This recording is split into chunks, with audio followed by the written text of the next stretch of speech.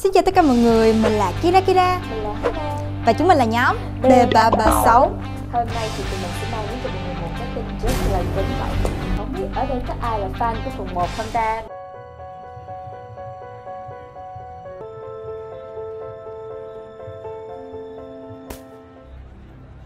Mày điên hả? Sao vậy sao tao Và tiếp nối sự thành công của Em Lắm Đường Thương thì nhà sản xuất MCV Group sắp tới sẽ cho ra mắt phần 2 Và đây sẽ là một câu chuyện tình cùng đặc biệt đến từ uh, một anh chàng xe ôm tên là Bình cũng như là một cô gái nhà tên là Phương. Wow, bây giờ phần 2 là ekip đang trong cái thời điểm mà gọi là gấp rút chuẩn bị đám máy cho nên là các bạn à, nào mà có đam mê diễn xuất thì các bạn hãy quay một cái clip thể hiện khả năng diễn xuất của mình khoảng tầm 4 đến 5 giây. Hãy gửi về địa chỉ hòm thư đây sẽ là một cơ hội để mà các bạn có thể tỏa sáng có thể trở thành một phần của ekip và à, có cơ hội hợp tác và làm việc với tụi mình. Cho nên là đừng ngần ngại.